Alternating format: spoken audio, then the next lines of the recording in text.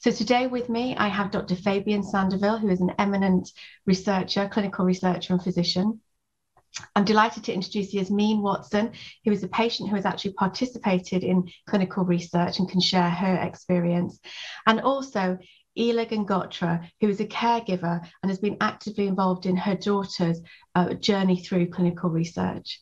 So with that, I'd like to um, hand over to Dr. Fabian Sandoval. Dr. Sandoval, what's your experience in terms of um, missed opportunities for engagement with patients of different cultural backgrounds? So I think probably probably one of the, the most common uh, engagements opportunities that you miss is the fact that you don't engage the entire family in the discussion.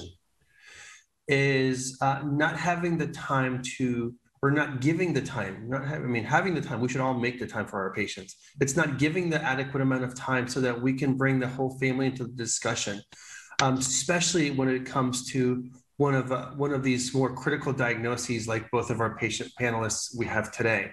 Um, it's not just a one person situation. It's it's a, a gigantic ripple effect, um, and the clinical trial can have that effect because there's more visits, there's more procedures that have to be done, there's diaries that have to be completed. So so that is important. And if we don't do that, the, the patient's not going to be engaged because one of their relatives did not get it, you know, and then they're like well why are you doing this? This isn't isn't going to work for you. And then they have this in the back of their their their head all the time and it might uh, not encourage the patient to continue on. So that's very important. And i think also clare is how much time we dedicate to our patients right? Really quick uh, anecdote. Uh, i was just in travel yesterday and the, the guy that dropped me off at my building said you know my doctor worked in this building but he retired and i really miss him and I said, Why do you miss your doctor? You know who the hell I was, right? And he said, Why do you miss your doctor? And he said, Because he gave me a lot of time. He really talked to me. And that's an old school, right? Thing that that people don't do anymore.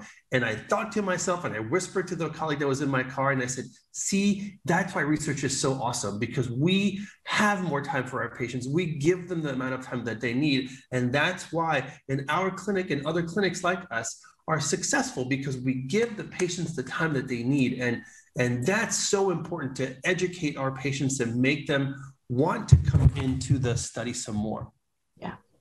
That that's awesome. I, I couldn't agree more. I think, you know, when you when you pull those three things together, it's about having appropriate information, time to share that information, and also ensuring that you know, that information is provided in multiple different languages and formats that's suitable for the whole family. It's often a family decision, if not, you know, in many instances, it's the matriarch of the family's decision. You know, usually that is the role that has mm-hmm. the most um, persuasive power in the family, if you like. And so it's really important that we're including um, those different family roles and, and friends in the whole conversation. And, you know, I, I think it's interesting. I received um, a letter this week around my COVID vaccine. I've actually already had mine because I participated in a clinical trial for, for one. However, I did note that I received the letter and a supplementary form, and it had no less than 12 languages on the supplementary form to say, if you do not understand this letter, please you know, contact and, and to gain that in your own language. And it really made me think about how frequently we use multiple languages in our documentation that we're sharing with patients, because that is a very, very small piece that we could do that is so much more enabling, I think, for me to struggle through um, information that is complex and challenging in a different language, a second or possibly even third language.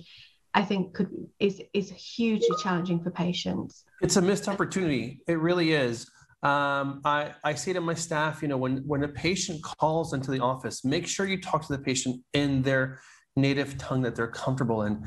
I'm sick. I don't want to try and tra- and interpret everything that's being said in one language into my native tongue to say, what does that really mean? I want to have that real, true connection with my provider of sort, you know, medical assistant, nurse practitioner, whoever it is that understands me, not to say really interpret because you lose that connection once again. So that is part of this important thing. So I'm glad that you brought that up. That having the ability to have multiple languages available mm. was was offered to you. Mm, fantastic. And I think as industry, what we can also take away is that it's clear from what Elia and Yasmin have said that time with the physician is absolutely critical. From your anecdote about, you know, your your elevator journey uh, with with a patient, so let's make that time as useful and effective as possible.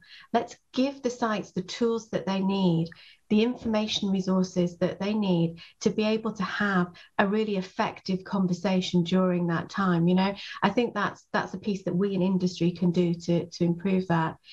And I, I want to continue on on that theme, if that's okay with you, Fabian, because I know that you've gone to a lot of effort in order to engage your community. Um, you are an Emmy awarded uh, TV celebrity, in fact, in your community, um, which is phenomenal that you have taken clinical research to your community in that way. Um, can you talk to me a little bit about what made you um, think about reaching out to your patients? And and what different steps did you take to reach out and what's been your success? Particularly i'm very interested about your, your tv show in particular. Sure. So so i think the reason why i started this is because when i first started ecri uh, the amount of, of hispanic patients that were coming in was very little. And when they did come in that uh, that i did talk to them and I gave them the, the medications and I gave them uh, the compensation for their time and travel they did not understand why. You know, why, you know, what's the catch? This looks too good to be true. Um, explain to me why you're doing this.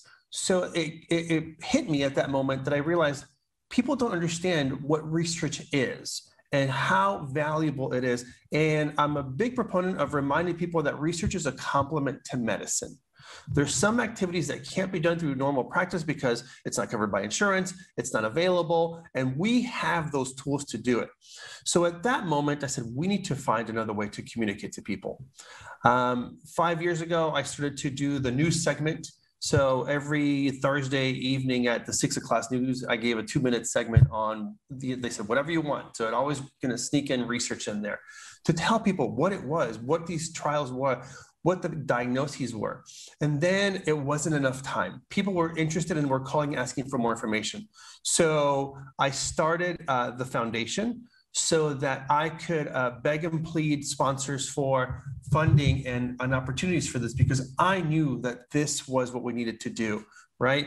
You know, the technology of social media is great, but TV and radio still hits a lot of people, right?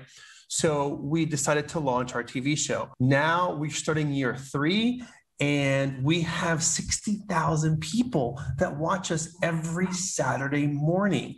We can't stop with that. So we're continuing this effort because people are becoming more educated. They're calling us with better questions and they're referring their relatives to understand what to ask for when they go see a doctor to see if research is available. So that is the home run that I was hoping for, but we have a lot more innings to go.